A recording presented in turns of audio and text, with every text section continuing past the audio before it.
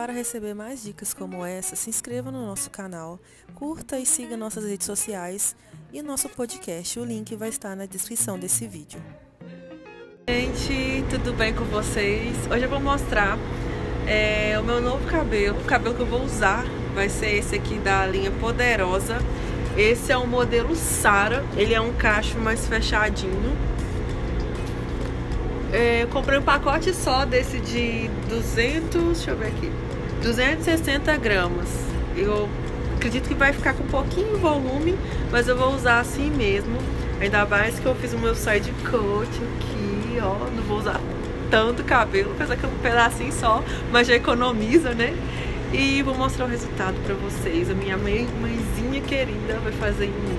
Ela arrasa demais no crochet braid. E é isso aí, gente.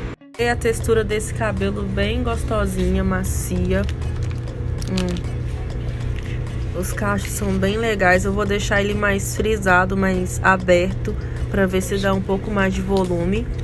E acompanhe aí como vai ser o processo dessa, dessa colocação.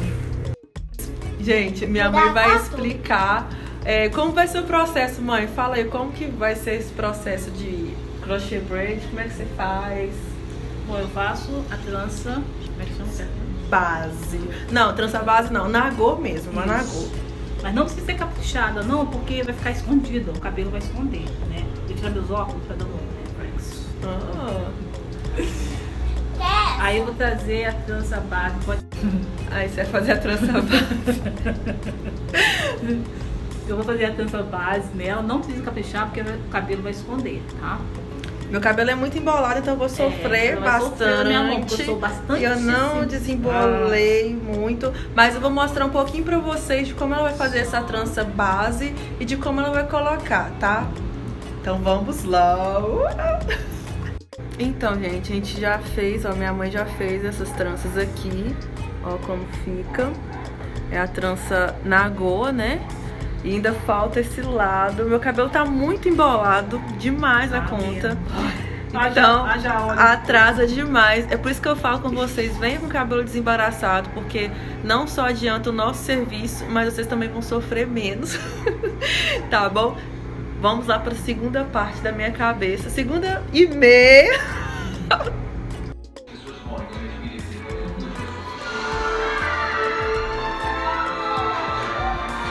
Mentira, né? Pra ter Ó, gente, foi assim que, tá, que ficou.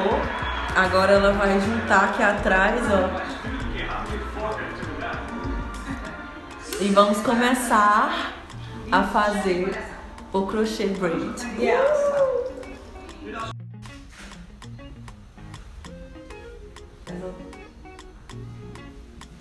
Assim que ficou atrás, ela foi enfiando com a agulha do crochê braid é, as tranças dentro da outra aqui, não usou linha nem nada. E ficou assim. Agora, é, a gente tá separando, né, as mechinhas de cabelo. Tô até ansiosa pra ver como vai ficar logo. Mas essa parte eu acredito que seja a parte mais tranquila, porque meu cabelo tava muito embaraçado, então agora vai ser mais rápido. Eu já tô separando as mechinhas e colocando aqui. Ai, tá quase chegando, gente, a hora de terminar logo.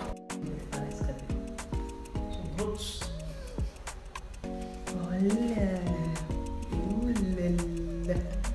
Não sei o que isso é brutias. Não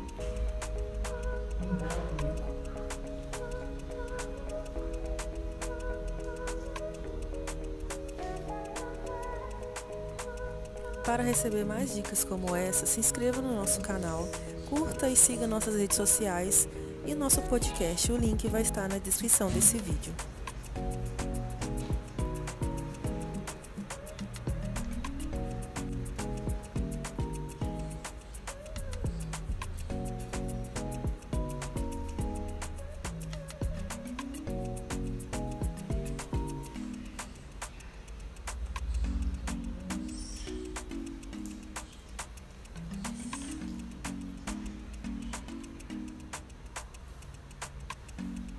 Então, gente, esse foi o resultado do meu cabelo que a minha querida amor, arrasadora, lacradora colocou em cowboy.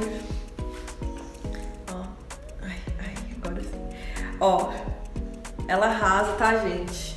Ficou lindo. Eu achei que aquele pacotinho daquele tamanhozinho realmente não fosse dar mas deu e sobrou um pouquinho que a gente vai fazer pra colocar o acabamento, porque agora eu tenho compromisso, não vai, não vou conseguir colocar os acabamentos direitinho. Mas ó, ficou lindo, a gente vai terminar aqui em cima e eu quero ainda cortar uma franjinha aqui, ó, pra ficar na frente. O meu side cutzinho ficou à mostra do jeito que eu queria mesmo. E eu tô me sentindo super plena, maravilhosa, ficar muito bonita nessa quarentena, né? eu espero que vocês tenham gostado. Qualquer dúvida, é só me perguntar nos comentários. Eu achei essa fibra muito macia. Ela parece que vai embolar bastante, mas assim, é só ter cuidado, paciência que é, a gente consegue desembolar tranquilo, né, mãe? Vocês têm alguma yes. dica aí para colocar de colocação pro pessoal? então é isso. Muito obrigada por ter assistido até o final. Beijos e até o próximo vídeo.